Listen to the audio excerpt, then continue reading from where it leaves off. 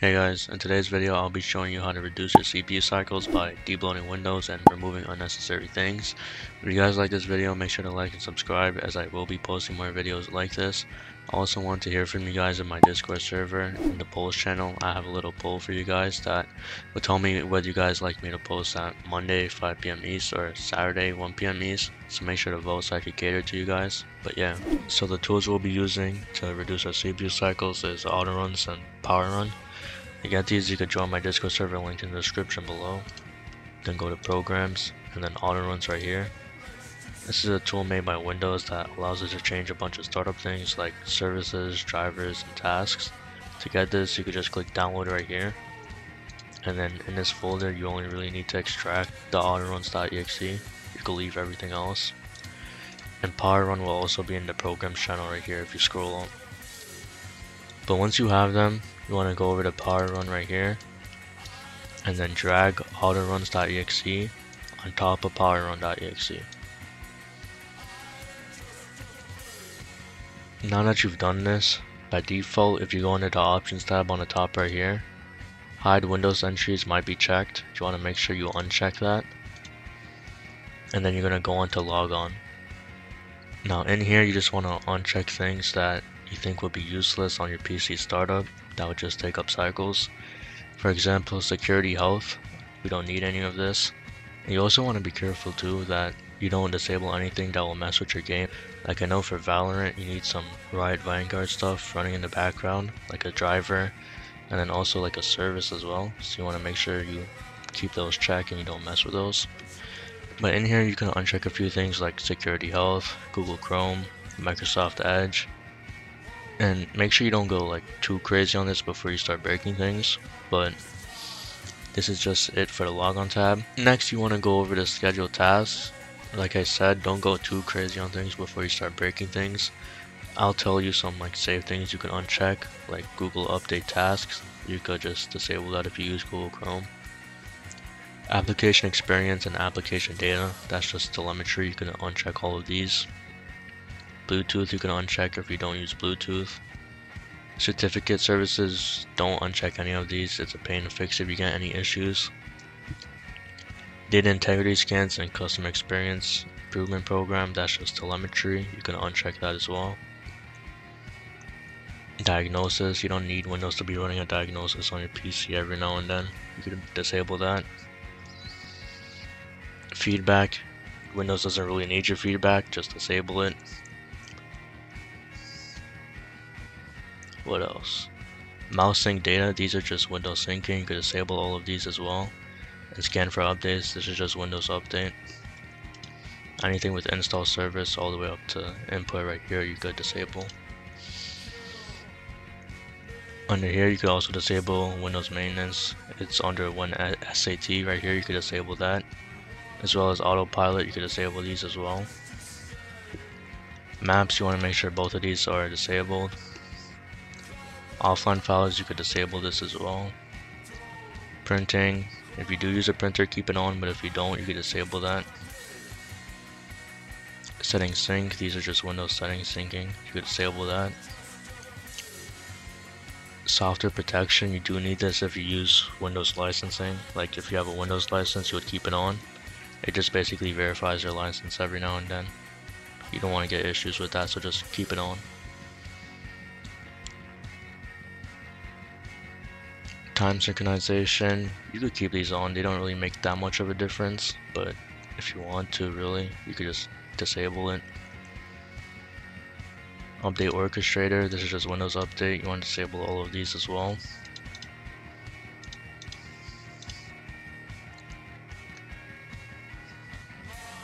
Windows Defender, you could disable that as well. You don't want Windows Defender on your PC anyway. Windows Update right here too, you could disable that. Windows error reporting, you don't want this running in the background too, you could disable that. Windows Update Schedule Start, you could disable that. SIH, that's also Windows Update, you could disable that as well. Device Sync, you could disable these. Xbox Game Save, doesn't really matter. Microsoft Edge Update, you could disable these. I'm MSI Afterburner, if you do have a GPU overclock, you want to keep this enabled because this is how it actually sets your overclock through Task Scheduler. So don't even disable task scheduler as a whole if you do have a GPU overclock. But if you do, then yeah, you want to make sure that this is checked. If you don't, you could just uncheck it. And NVIDIA or AMD, if you have the software, it might have auto updates. You could disable these as well. But yeah, that's it for task scheduler. Next, you could go over to services.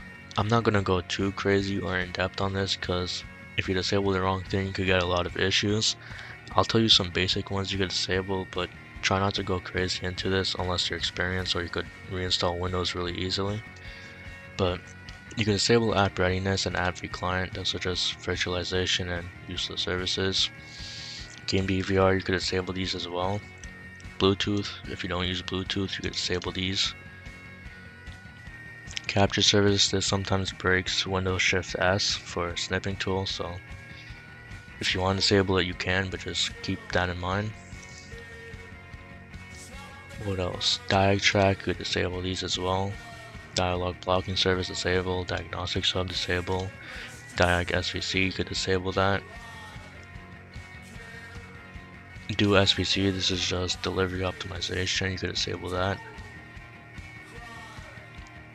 Like I said, if you have any games that do require services to be ran, make sure you keep them running so you don't get any issues with them.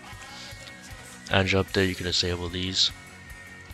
Google Chrome elevation service, if you do use Google Chrome, disable that.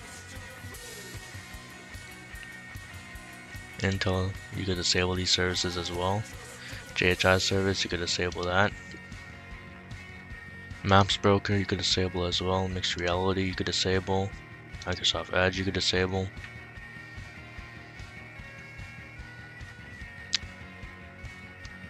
OneSync you could disable these as well. Periodic maintenance you could disable these.